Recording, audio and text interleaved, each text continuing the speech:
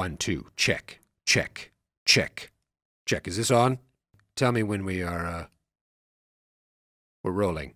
Hey, NATO leaders, here's a pro tip.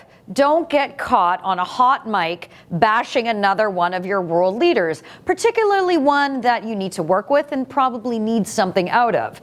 Well, here's the context. Of course, controversy follows anywhere Donald Trump goes, and at the 70th anniversary of the NATO summit, Justin Trudeau, the Canadian Prime Minister, got caught up in a bun fight with the President of the United States. Here's the challenge. Since Justin Trudeau got reelected in a minority government recently, he's kind of kept low, been quiet, no big sudden moves. It's actually been quite, quite pleasant.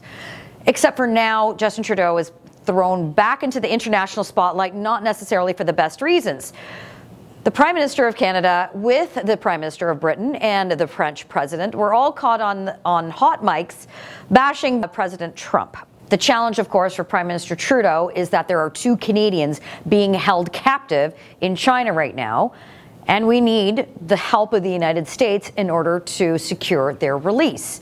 Michael Kovrig and Michael Spavor have been held captive for nearly a year with no end in sight. And it's not necessarily a good idea to be caught on camera or on a hot mic bashing the very person that could potentially help secure the release of these two Canadians.